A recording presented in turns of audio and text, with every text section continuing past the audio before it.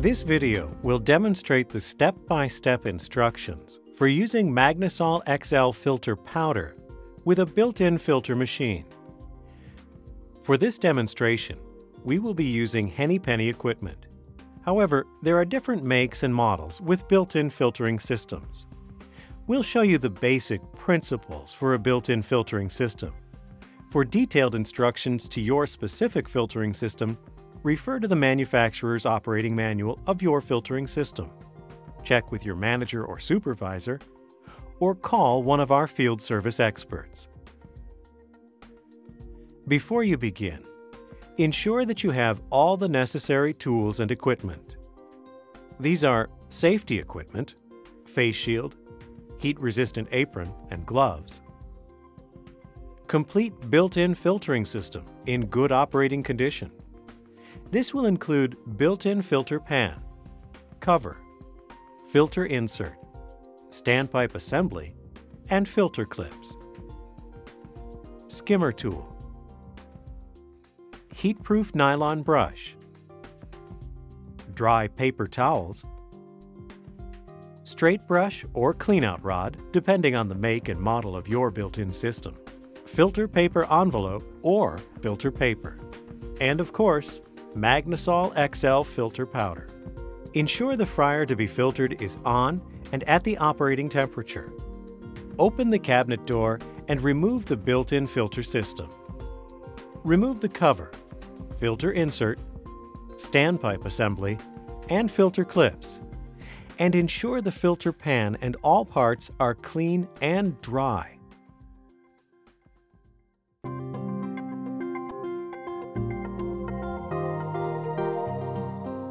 Assemble the built-in filter system by first inserting the filter insert in the opening of the filter paper envelope.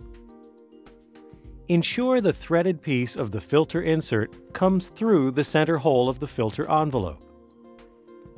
Fold over the excess filter paper and secure with the two filter clips. Attach the standpipe assembly.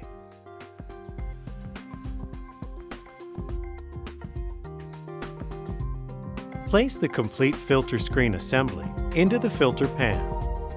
Check to see that there are no gaps or tears in the filter paper. Next, add the correct dosage of Magnesol XL filter powder to the filter paper. For proper dosage for your fryers, refer to the dosage chart on the Magnesol XL box or cup, or check with your manager or supervisor. Evenly sprinkle the Magnesol XL filter powder onto the filter paper. Replace cover and slide the built-in filter system into place. Connect the filter union by hand. The built-in filter system is now ready for use. Turn off the fryer to be filtered.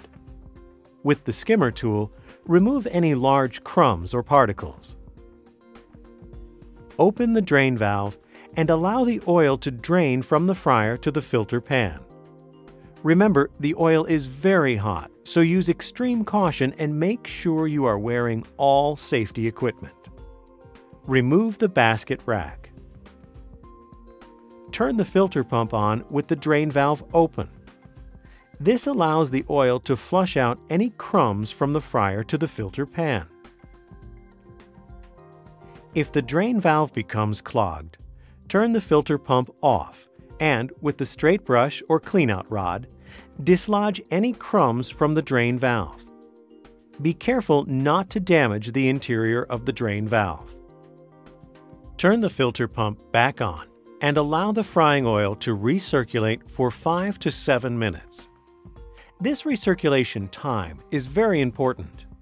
Off flavors, off color, and impurities are removed from the frying oil as it passes through the Magnesol XL filter cake formed on the filter paper.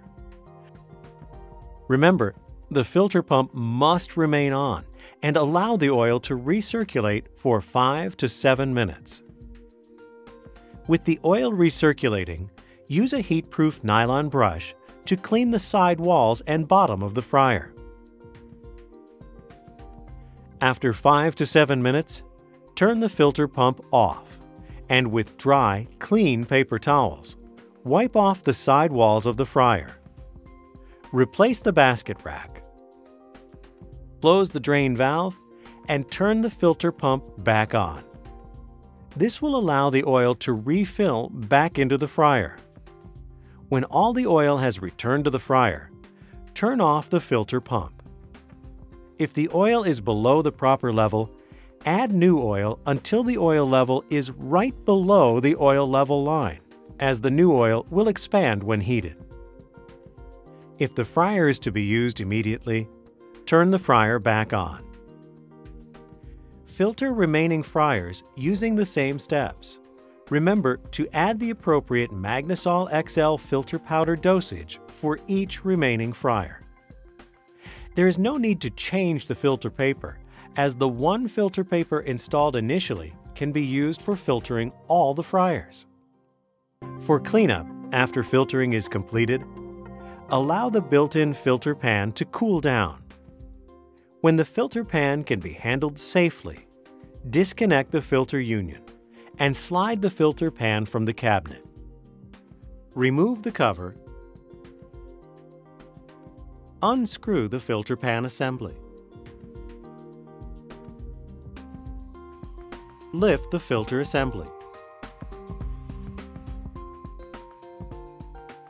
Remove the filter paper envelope and discard.